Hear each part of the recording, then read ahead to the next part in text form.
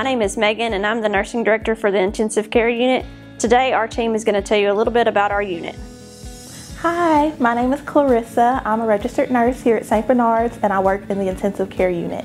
Back here, we work closely all together. We have employees like nurses, patient care techs, and UICs. We have 160 employees in our home department and we work with an awesome team of intensivists.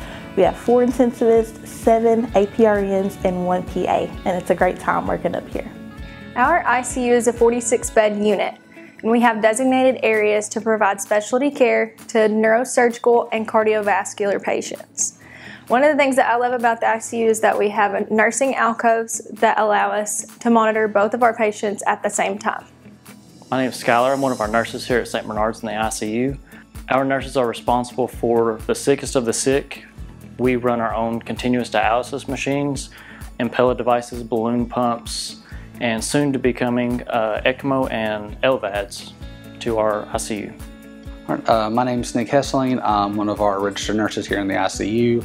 I'm also a member of our medical emergency team. Um, it's just a group of ICU nurses who uh, round on our med-surg floors and sometimes in the ER if they're holding patients down there.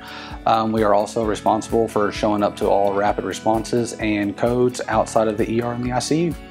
My favorite thing about working in the ICU is that we're a family. We work as a team, everybody works together. If it wasn't for my other nurses, my intensivists, my techs, and the residents, we wouldn't be able to do what we do. I feel that we each have each other's back and we just work together great. Hi, I'm Callie. I'm an RN here in the ICU. I like the ICU because it is all encompassing. We see a variety of patients on the day to day. One day I might have a cardiac surgery patient, another day I might have a patient on continuous dialysis. I'm really proud of all the services that we're able to offer the community and I'm very proud to be a part of the St. Bernard's team.